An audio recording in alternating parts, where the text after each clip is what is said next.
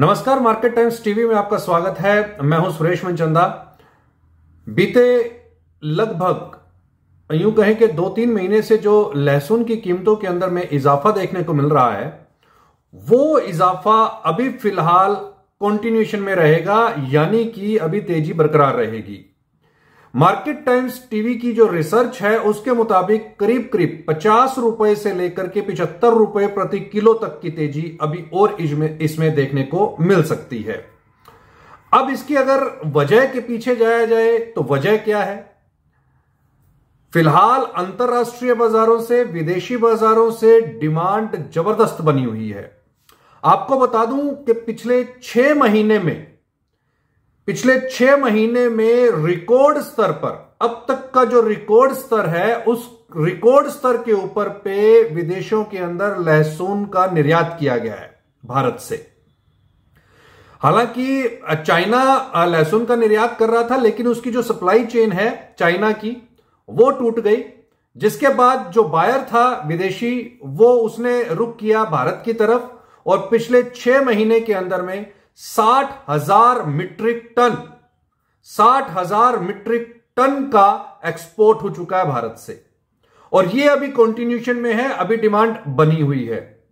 तो जो market times TV की जो रिसर्च कहती है, उसके मुताबिक आने वाले पाँच से लेकर के और दस दिन के बीच के अंदर में पचास रुपए से लेकर के पिचहत्तर रुपए प्रति किलो तक का इजाफा और देखने को मिल सकता है। जानकारी यह भी है कि मध्य प्रदेश के जो किसान हैं, उन्होंने हालाँकि माल रोकना शुरू किया है, माल रोक रहे हैं। आप देखेंगे ऑब्ज़र्व भी करेंगे कि जो मंडियों के अंदर जो माल आ रहा है, वो माल कच्चा आ रहा है। और साथ ही वो अभी पूरी तरह से पका भी नहीं हुआ है।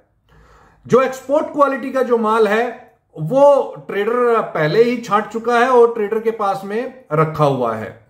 जो एक्सपोर्ट क्वालिटी का माल है, उसके अंदर इजाफा है। हालाँकि हल्के माल के अंदर भी इजाफा देखने को मिल रहा है, क्योंकि जब एक्सपोर्ट क्वालिटी का जो माल है, वो निकल रहा है, अच्छी प्राइस के ऊपर निकल रहा है तो पीछे जो माल बच गया तो उसकी भी जो शॉर्टेज है, वो कहीं ना कहीं बाज़ार के अंदर में बनती हुई दिखाई दे रही है। आजादपुर मंडी का तो यह हाल है कि जितना भी माल आजादपुर मंडी के अंदर में पहुँच रहा है, वो हाथों हाथ बिक भी रहा है। जो इस समय पर स्नैरियो बने हुए हैं दो सौ, सवा दो सौ, ढाई सौ रुपए के अंदर में जो माल बिक रहा है, अभी पाँच से सात दिन के अंदर में और इजाफा देखने को मिल सकता है। तेज़ी लगातार बरकरार रह सकती है। साठ हज़ार टन मीट्रिक टन लहसुन बाहर जा चुका है और तकरीबन तकरीबन अगले तीन महीने के अंदर में 20 से तीस हज़ार मीट्रिक टन लहसुन और बाहर जाने की संभावना है। आप कहीं मत जाइए, देखते रहिए मार्केट टाइम्स टीवी, क्योंकि खबरों का सिलसिला लगातार जारी है।